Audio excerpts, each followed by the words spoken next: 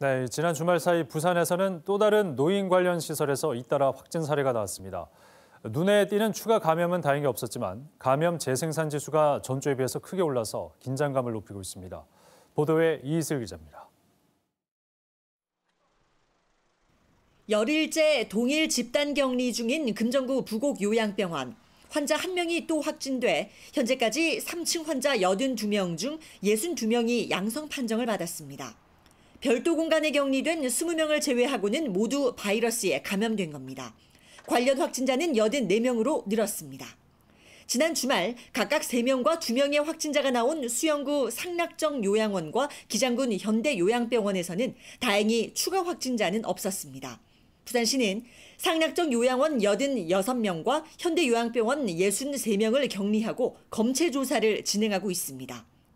가족 감염도 이어지고 있습니다. 주택 1, 2층에 살고 있는 일가족 6명이 한꺼번에 확진됐는데 최초 감염 경로는 불분명합니다.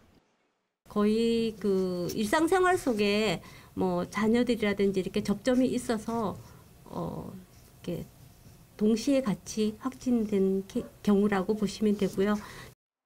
40여 명의 관련 확진자가 발생한 감천항 항운노조 집단 감염과 관련해 부산시는 국내 항만 노동자들에 대한 선제 검사를 진행하기로 했습니다. 감천항과 신항, 북한과 남항 등 4개 권역별로 임시 선별 검사소를 설치합니다.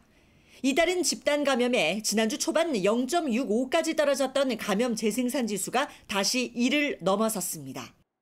확진자 수가 증가와 감소를 계속 등락을 반복하고 있기 때문에 저희들로서는 예측이 참 많이 어렵고 어, 최선을 다해서 방역 조치를 해 나가겠습니다.